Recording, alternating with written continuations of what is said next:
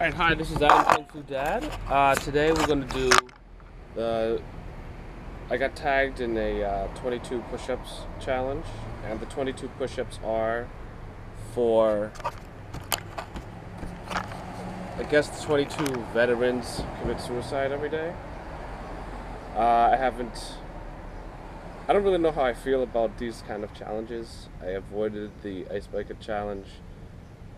Um, so, but anyway, I thought I thought about this one, and I guess it's raising awareness about the problem, and also, I guess you could think about, you know, whatever, throw a prayer out for uh, people who are having this issue while you're doing your 22 push-ups, and it's, so it's sort of like a physical thing that you do while you're thinking of them.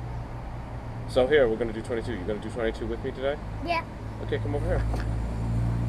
So 22 plus 22 is 44. okay.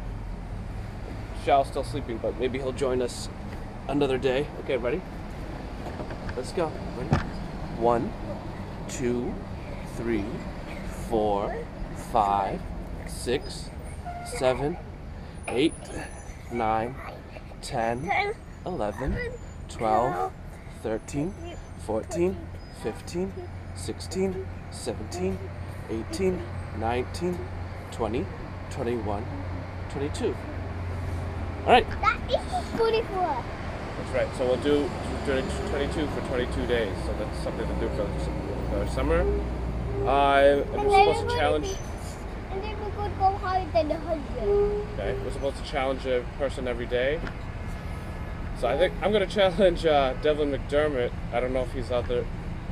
Probably has already done this challenge, but mainly because I want to hear what he has to say about what he thinks about the whole thing. So, all right, see you guys tomorrow. We're doing the same thing.